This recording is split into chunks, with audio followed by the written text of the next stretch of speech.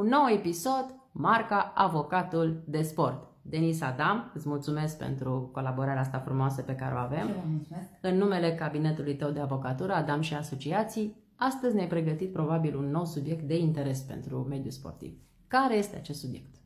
Bun, mai înainte de orice fel de deschidere a subiectului în ceea ce privește noua noastră ediție de astăzi, o să vreau să vă aduc la cunoștință faptul că primim foarte multe mesaje din partea urmăritorilor noștri. Sunt de foarte mare interes ca și subiecte pentru noi. În schimb, din păcate, ultimele, în, cu precădere, în ultima săptămână, apar sub forma problemelor majore din sportul românesc oamenii ne cer ajutorul, într-un fel sau altul, ca un fel de salvatori ai exportului românesc. Ce pot să spun este faptul că ne dorim din suflet să-i ajutăm, să-i sprijinim în toate demersurile ce urmează și ce portițe legale vom găsi pe această temă. Însă vreau să spun așa, Născut pentru sport nu este o presă de scandal.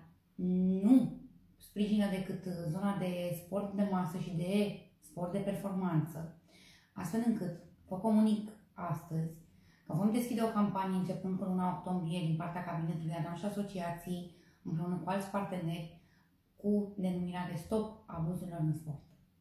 Așadar, întrucât consider că am reglat foarte bine acest cadru, putem primi în continuare mesaje din partea dumneavoastră, dar să nu amestecăm lucrurile născut pentru sport și abuzurile săvârșite în sportul românesc, că nu au niciun fel de legătură împreună. Aceste abuzuri vor fi luate în considerație și vor fi tratate în numele cabinetului pe care tu îl, Absolut. îl conduci. Îi putem reprezenta, îi putem susține și vom găsi împreună pârghile legale în vederea soluționării astfel de uh, situații apărute în sportul românesc. Din păcate nu este o veste tocmai plăcută pe care noi o primim și vedem cu precădere că în toate sporturile se întâmplă. De altfel știu că și Federația Română de Basket cred că a deschis o astfel de campanie Stop abuzurilor uh, în sport. Cred că mai este și o altă gazetă care a promovat uh, acțiunea aceasta, dar uh, din domeniul juridic nu mi-am amintesc să existe, sper să nu greșesc și să nu fac o confuzie, dar pe zona aceasta sper să avem cât mai mulți susținători și să putem porni un proiect împreună, dar, cum spuneam și spuneai și tu mai devreme, putem sprijini și reprezenta acolo unde legislația ne permite să accesăm și să intervenim.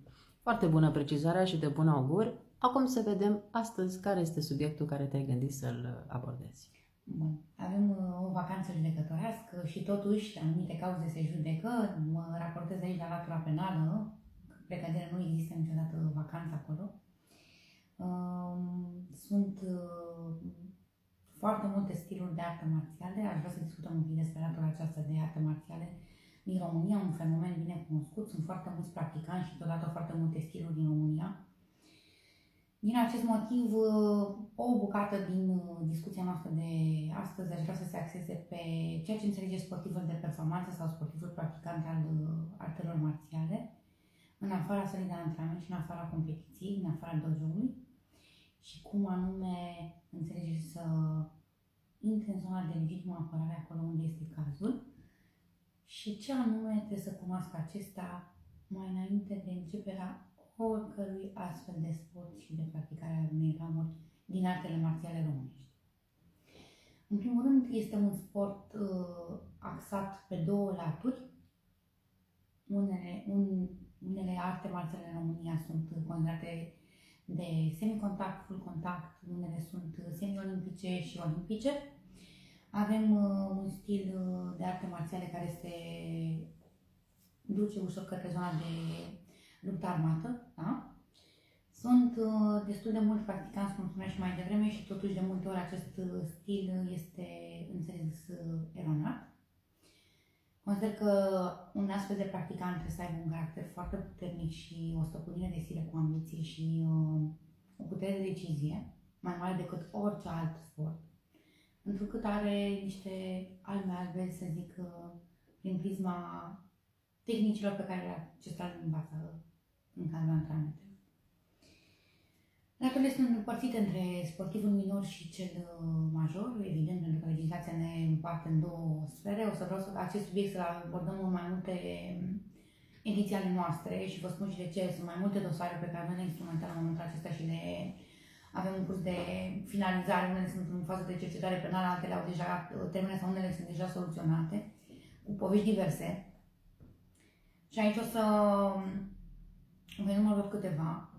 Raportul meu exact cum spuneam, sportivul minor, ulterior cel practicant și mai departe, după încheierea carierei uh, sportive, o parte dintre aceștia ajungând în uh, structuri militare și ce uh, probleme au putut întâmpina și ce laturi penale s-au putut deschide de acolo, inclusiv cercetarea într-un partid militar, astfel de cazuri. Bun. Cum spuneam, în primul rând, un practicant de arte marțiale trebuie să cunoască foarte bine ce înseamnă contravenția și ce înseamnă infracțiunea, care sunt laturile subiective și obiective ale unei astfel de uh, acțiuni pe care o întreprinde și o consideră ca fiind legitimă apărare, cum anume se pune problematica în materia dreptului penal legat de lovire și ce înseamnă victimă. Da? Foarte interesant acest aspect niște aspecte foarte importante pe care instanțele, deopotrivă nu avem o practică unitară, sunt uh, două structuri împărțite ușor pe latura de legitimă apărare, care spun așa, sunt considerate sau nu mâinile și picioarele arme albe. S-a pus în discuție de către instanțele din România acest aspect. Unele consideră faptul că nu, sunt membre ale trunchiului și nu pot constitui arme albe. Alte instanțe din România consideră că pot fi constituite ca și discuție nu arme albe, ci modalitatea în care biomecanica corpului este folosită și tehnica învățată în uh, practicarea acestui sport poate constitui circunstanță agravantă, implicit un sport de pedeapsă pe, pe acest uh, capitol. Ca atare, adresez uh, cu încredere următorul sfat către practicanți și către cei care inclusiv nu mai practică și nu au niciun fel de legătură cu structurile militare ulterior, faptul că da, este o circunstanță agravantă prin cunoașterea unor tehnici de autoapărare sau uh, folosirea acestora împotriva legitimei apărare, uh, apărări, pentru că intervine momentul clar de modalitatea în care se acționează asupra agresorului sau aparent agresorului din, uh, din subiectul dat. Pentru acest motiv uh, aș vrea să discutăm pe parcursul mai multor ediții acest uh, subiect și să-l abordăm sub diverse forme, astfel încât să putem edifica exact latura de infracțiune și de Poate cineva să ne aducă, interesat de subiect, să ne aducă și cazuri concrete de, de astfel de spețe. Ar fi interesante de adus Poate le putem discuta și noi și foarte bine amendamentul. Noi putem discuta și am agreat împreună că vom discuta orice fel de caz care l-am avut și l-am instrumentat în legătură cu sportul românesc.